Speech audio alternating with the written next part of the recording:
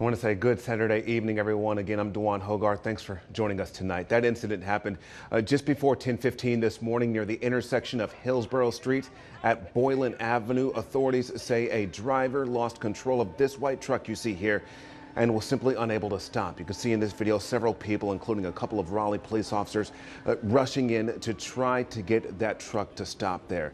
The truck uh, hitting a young girl dancing in the parade with the CC and Company Dance Complex. Uh, she was seriously injured and later died from uh, those injuries. Authorities say no one else was injured in that accident, uh, and that driver has been identified as 20-year-old Landen Glass. He has since been interviewed, arrested, and is cooperating with police tonight. Uh, he's been charged with misdemeanor death by motor vehicle, careless and reckless, improper equipment, unsafe movement, and carrying a firearm in a parade. We have our Cindy Bay joining us live tonight in Raleigh from that scene of the accident. Uh, Cindy, just absolutely heartbreaking, not only just for that family, but also uh, for all those in attendance who watched it happen right in front of their eyes.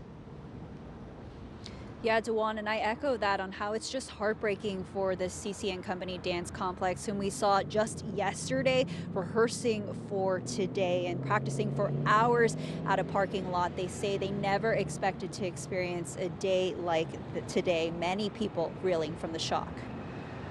A long awaited parade turned deadly. CC and Company Dance Complex were at the intersection of Hillsborough Street at Boylan Avenue when a truck that eyewitnesses say was out of control struck and killed a child. I just saw them coming down the street really fast. Um, and you can tell it was not like gas, like they weren't gassing. It was rolling, kind of rolling down the street, and they were kind of freaking out, yelling at people, get out the way. Like you can tell they were panicking. A handful of people, including first responders, running to stop the truck that towed a float with the company's youngest dancers. People came up and were helping, like grab it and slow it down a little bit, but um, it looked like they were trying to slow down when they got to this point. Some people in the crowd say they heard the warnings. The drivers, you could see the people in the truck getting out, like telling people, warning people, get out, get out of the way. We can't stop. Yeah, we can't stop. They were screaming. Um, you know, the cops were saying, get out of the way. They can't stop.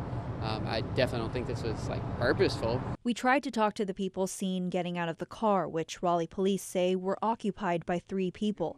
Raleigh police saying in a statement the driver was interviewed, cooperated with detectives, and faces several charges. CC and Company Dance Complex mourning the loss of their dancer, saying in part, We are still in shock as we write these words to you, knowing many of our young ones witnessed this tragedy that is hard to fathom as well. And those charges against 20 year old Landen Glass include misdemeanor death by a motor vehicle and carrying a firearm in a parade.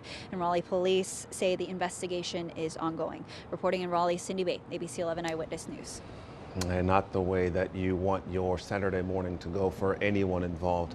Uh, Cindy, again, thanks so much. We have uh, Mayor Mary-Ann Baldwin releasing a statement today saying, quote, today started off with such joy. The Raleigh Christmas Parade brings so uh, brings smiles to so many faces. Uh, my heart was so full and now it aches for the young girl hit in a tragic accident on the parade route. I'm praying for her, her family, and our community. Governor Roy Cooper also sharing his condolences in a tweet saying, Kristin and I are devastated about the tragedy at today's Raleigh Christmas Parade. In a joyous season on what should be a happy day, we instead mourn for this family and their friends as we keep them uh, in our prayers in that incident happening in front of hundreds of people just simply wanting to enjoy their Saturday morning. Tonight, parents, parade goers, and children are all left to process this tragedy. I spoke with therapist Ashley Gilmore earlier, and she has some tips for you uh, or your family or your friends on how to react to this level of trauma and how to help kids through this difficult time. This type of trauma impacts um, the mental, the physical, and the emotional, of the entire wellness wheel. And so um, there may be some people tonight who can't sleep. There may be some people right now who are just numb to everything that's happening. So the emotional capacity of this is just extremely heartbreaking and devastating. For parents who are unable to see someone in this moment, I think asking their child how they're feeling, um, invoking all kind of open-ended questions. Are you okay? Um, tell me what you're feeling. Um, how can I support you? How can I help you? Give the child the opportunity to name what they're feeling, to express what's hurting, what's sad about this entire incident, um, and to understand that there is some trauma that will that is accommodating this.